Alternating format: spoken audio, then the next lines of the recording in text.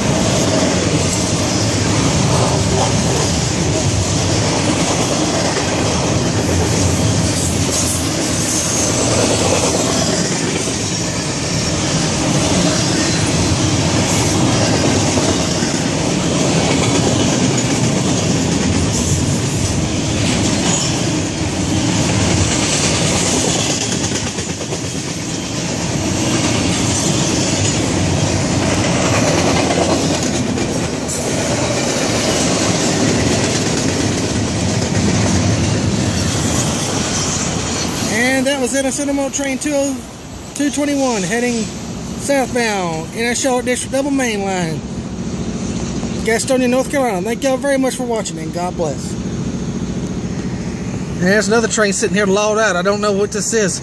Maybe 153 or 173. Uh, anyway, hoping for a crew to get on this later. Anyway, thank y'all very much for watching. God bless.